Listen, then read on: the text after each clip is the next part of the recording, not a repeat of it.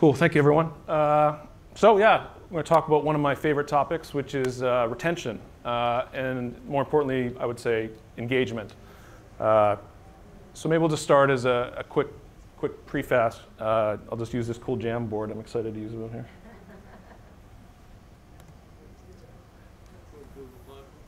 Um, so you know we've all launched mobile games, and there's sort of kind of two states that you can kind of think of the world at. You know, if this is just sort of you know your revenue. Oh god.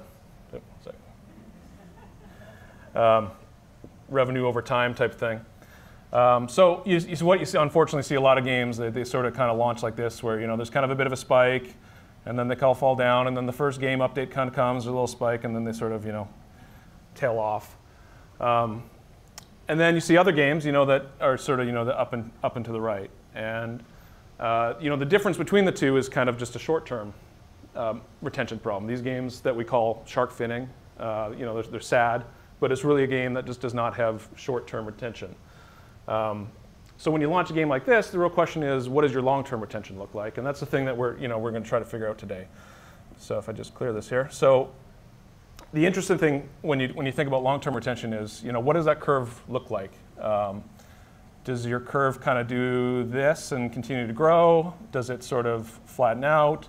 Or does it sort of kind of die off at a certain point? And when you're trying to plan a business from a business point of view, this is really important because unfortunately, you know, if, you, if it's the sort of the latter, you end up with this what we call kind of pie plating. So you end up launching a game and then it kind of makes money and then it kind of dies off. And then you know, you hopefully you launch another game in time so you sort of can kind of catch it again. And so you're in this sort of horrible sort of mode of where you're trying to continue to release product uh, just to kind of keep you know your revenue sort of flat. Which what you really want is something that looks like this, where you launch one game and it grows, and then the next game grows on top of it, and you get this sort of stacking. And to do this, you really need to understand what long-term retention looks like.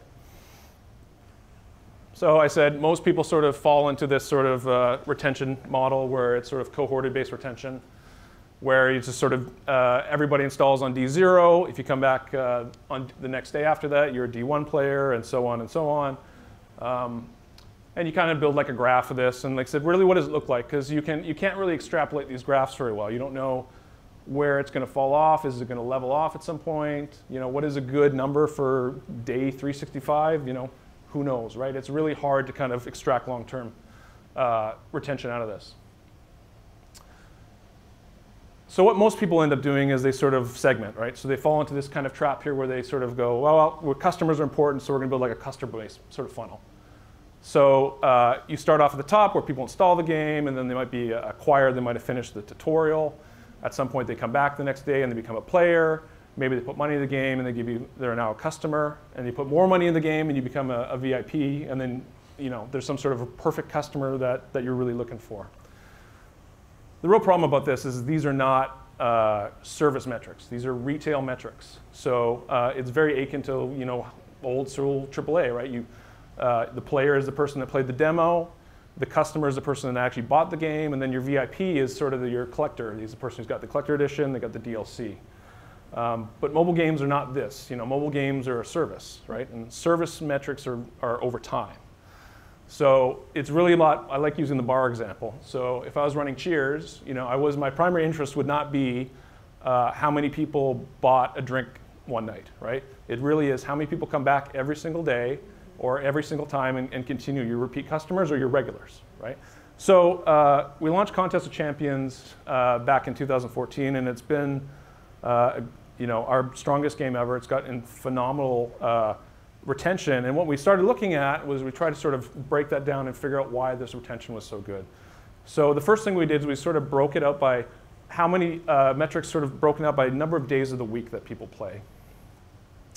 And what we found is um, the people that play seven days a week look nothing like everyone else. So just in the amount of engagement, the number of battles people play a day, uh, from a seven-day player is about two to three times more than a six-day player. In fact, the six-day player looks a lot more like the five-day player than it does the seven-day player. Um, and this also works for monetization too as well. If you, if you sort of normalize it off the one day a week players, you'll see that the seven day a week players spend you know, almost five times more than your one week player. So we said, I think we're onto something here. So what we ended up doing is we sort of looked at lapse rate. So um, here's four different games that we did. They're all different genres. Uh, they're all different levels of success. And we said, you know, what is the chance that someone is going to churn the next week after playing all seven days? And what you realize is basically zero. Um, I think on Marvel it's like 0.3%. So it's, it, uh, it's really, really stable. And it looks the exact same for all these games. They all look very, very similar. It's basically what we call physics uh, for retention. So that gave this concept of regulars.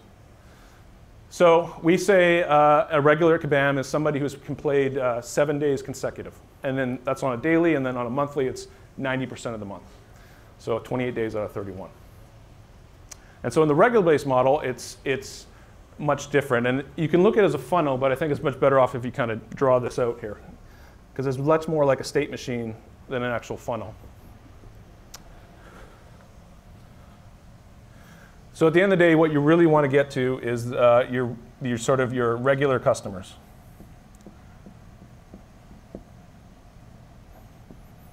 So basically, everybody starts off um, as being a player. They play the game, they install the game. Now, there's kind of two ways you can become a regular customer, right? So the first one is you can put money in the game, and you can be a customer. Uh, and then after that, you end up playing seven days consecutive. The other way you can do it is you can kind of go the other way around. So you, you basically, you're a regular now, because you played seven days, and then you put money into the game. So that's how you kind of enter the flow. Now, once you're a regular customer, you're not always a regular customer. So for some reason you miss a day, you kind of go off into this uh, other pool of being basically non-regular again. We call this being weakened. Um, but if you end up playing seven days again, you can come back into the pool. There's also the, the, uh, the lapse people too as well. So if you, you end up not playing at all for 14 days, um, you can kind of fall in this lapse pool. But if you ever come back to the game and become regular again, you can become a regular customer again. So this is really interesting when you view it this way because when you think about your business, each one of these groups need different things, right? So a player that comes in and gives you money, uh, now you're trying to figure out how to get them to play seven days a week. These guys are obviously playing seven days a week. How do you then convert them? For people that have weakened, you try to build game designs and game systems that are going to bring them back seven days a week. Uh, for people who have lapsed, you're going to try to reactivate them to figure out why they've lapsed and then try to make so turn them back into customers. So it's really a, like an organic state machine. And it's really important that all the pieces fit together because what you realize when you start kind of digging into this is, um, you know, you're not, the majority of the people kind of go down this path and then it's pretty easy to cycle people around here. But if you're trying to grow a business, the, really the difference between having more regulars than you had yesterday is really adding up all these other little percentages that you can get throughout this entire funnel. So what, what are the power of regulars? So uh, in, in Marvel, um, over 90% of the monthly revenue now is, is through regulars. Uh, and we're still growing them three years into the game. So three years, uh, year over year, we've continued to have our daily number of regular users continues to rise even three years into the game. They end up having over a 97% loyalty rate, which basically means uh, month over month they are continuing to coming back. There's actually months that we've had over 100% loyalty rate, which is crazy. We've actually had cohorts that are really old that actually are still continuing to grow regulars. Uh, and the beautiful part of it is they have a really stable ARP mark. which is actually average revenue per monthly active regular customer. So, sorry about that, but ARP mark, very stable, which is great because this is this, if you're looking to forecast your business, you have a, you have a, a, group of people that never leave and pay you the same amount every month. That's like the it's the perfect forecasting tool. So when we view this for our business, we really think about um, how we can service these regulars, and we think about this regularity lens throughout our entire business. Uh, and so we've applied this kind of throughout our entire operations.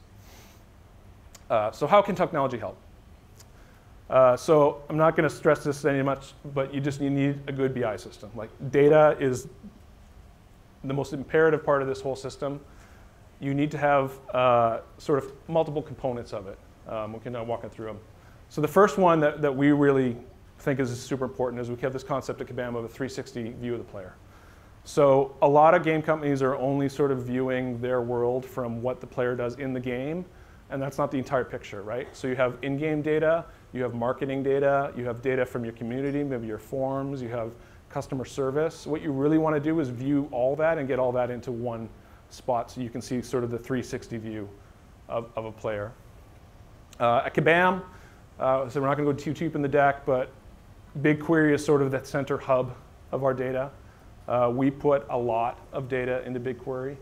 Um, on Marvel, you're looking around one and a half petabytes of data alone on there. It's about two trillion rows.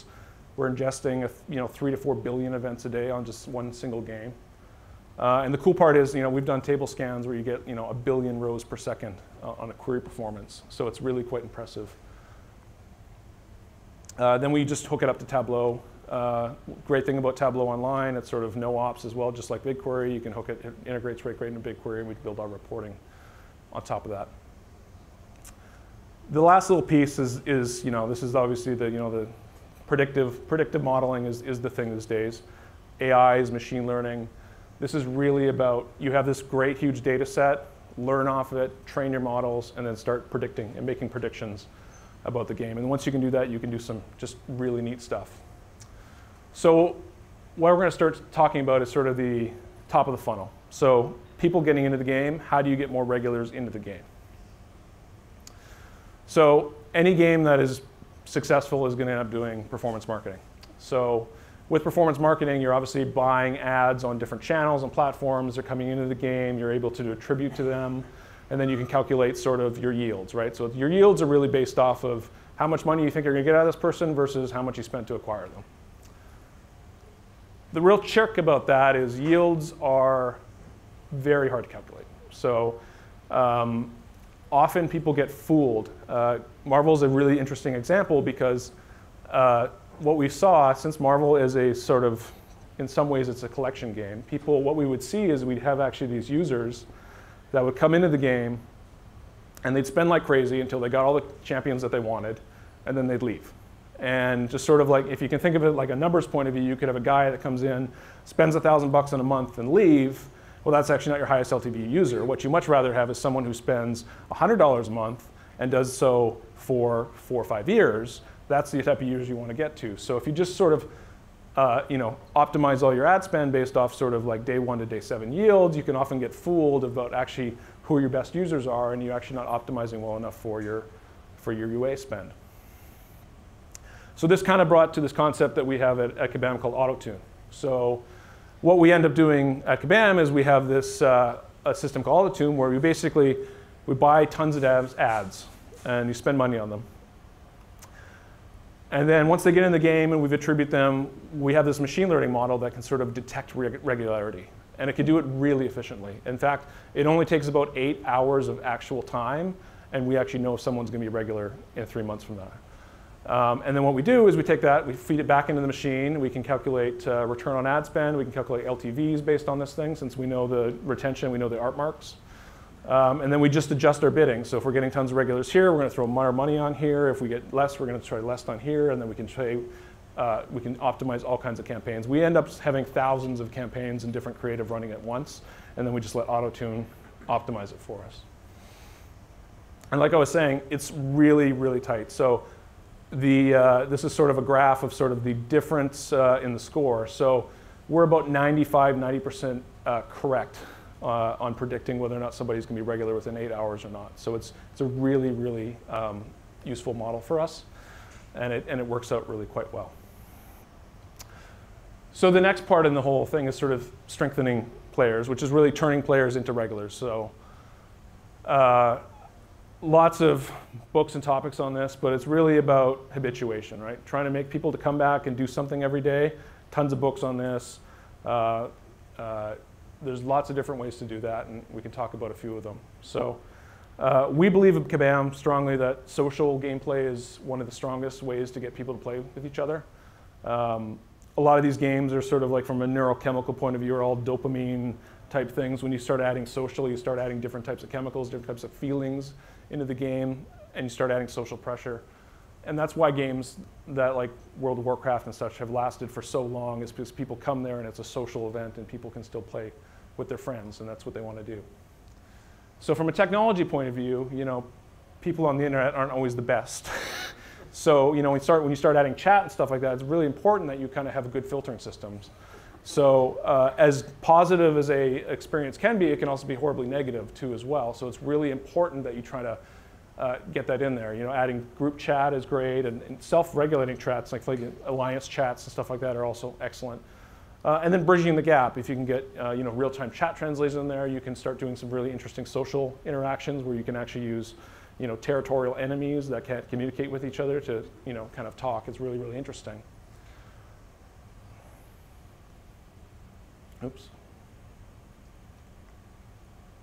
Lagging. Um, and then the next one's really alliances. So alliances, at least in our games, have just been incredibly powerful. Um, if you just take the short-term um, retention metrics, it, the second someone gets an alliances, their retention basically triples. So um, we always try to get people into alliances. Finding the right type of alliance for people and stuff is a very hard problem and it's very interesting, and you can, and you can get some great uh, work on that. The social pressure mechanism is really strong. So if you build events around uh, cooperation or competitive loops around getting people to do things together, you can get these great just engagement uh, boosts. The funny thing about this though is actually also the number one indicator of churn prediction is actually when you get kicked out of your alliance. So people get kicked out of the alliance, we are on the right way to get them into a new alliance as much as possible because that's the number one predictor of churn in our game. And then the next one was kind of what we call uh, putting on a show. So we think, you know, if you build a game that someone can literally play for 24 hours a day, you will probably never have any problem monetizing them. You just want to keep them in the game as long as time. We do not believe, a lot of people believe in this sort of concept of like core, core loop binging and they can binge too much and they get fat and then they don't, they don't want to play the game anymore. Absolutely do not believe that, have no data to prove that. People can, if you give them time to play and they play it, they will play it. Um, it's really about giving people stuff to do. So uh, if you kind of look at like what a week looks like in, in, in the contest of champions, it's all really about layering. So uh, we have about 100 events a week that are planned, and, it's, and, it's, and they all sort of feed into each other. So you want to build a system that can kind of like, uh, you can stack them. So you can do a couple of these events that give you rewards that go to the next event, that go to the next event, that work on there. There's different types of events for different types of people. Some people play social events, like the AVE, AVA. Other people play single events like PvP and grinding. Giving all these opportunities for people to play these different experiences is really important. And what we've done is we've done a massive investment in tools. Uh, it's our backend called Spark, so that we can basically allow live game designers to tune the game in such a way that this is feasible. And how we do it is, is largely kind of four main, main areas. So the first one's really about targeting. So uh, having really strong targeting capabilities in your backend is, is extremely important because what you can do is you obviously got to do split testing so you can make these changes and see how they happen. Um, you can end up cohorting players into different things because you know someone who's played the game for three years versus some guy who comes into a different game, they obviously need to be cohorted in there. You can do geo targeting. Um, our backend is about 200 dimensions uh, and more actually now than uh, of, of, targeting that we can add to. Um, and then you can also do action-based targeting. So someone does something and then it changes how, they, how they handle it. The next real strong thing that we, that we really are quite proud of is this concept of flexible economy. So uh, all these games, frankly, are kind of similar. They're all where your money is in all these games is having a real strong metagame system. And a metagame frankly, is really quite simple at its core. It's always you do something, you do an action, and you get something. So you're always trading one resource for another, and there's an action in between that. So if you make that generic enough, uh, you can make your entire economy generic uh, in a way that it's just all you're doing is taking this and doing something and turning it into that. And if you build tools around that so that um, your live ops can actually make new items and make new economies and, and, and sort of shape them, then you can do some real powerful things. Um, and you can also measure them too as well. So our abstracted economy ends up building a, basically an operation log for every single action that has an economic value to it. So you have an op log of every single thing that happens, and you can measure that, which allows you to do this cool stuff like this. Where you, so if you're looking at like a single currency in the game, you can actually see the flow of currency and where it happens. So you can see in kind of the middle there, we saw you know this currency was kind of you know getting kind of high. So what we'll do is a live ops will maybe make a sink, which might be like a an event to try to drain that currency. And that will give you a different currency, which then they can make another following event to drain it. So you can really kind of move your economy around in ways that you can kind of alter player behavior. And then the real part, part about this is, um, you know, anytime you get deep into these sort of data-driven analytics and data-driven systems, you really need a way to manage it all. So um, in the contest of champions, there's about two to 300 megabytes of metadata that people are always sort of handling and managing, and you got to build tools around uh, how you actually, you know, move the different pieces across different environments, how you QA these, how you actually sort of merge them in and diff them and stuff like that. And if you don't do that, you know, you're, you're probably liable up for a mess. Um, I remember one time in, in old Kabam, before we had some of these things, we had, we had built a gacha box once and we didn't have these tools, and it was a gacha box that opened 5,000 more boxes, and it was sort of inception, and it was, it was a disaster cleanup. So I can't stress this enough how well you need to have good tools about that stuff. So, and then the last one is uh, really about long-term retention. How do you retain people for a long time? So it's really all about sort of knowing when someone's going to leave. Um, you can pretty much predict that. Like I said, there's some really strong indicators. Getting kicked in alliance is a huge one.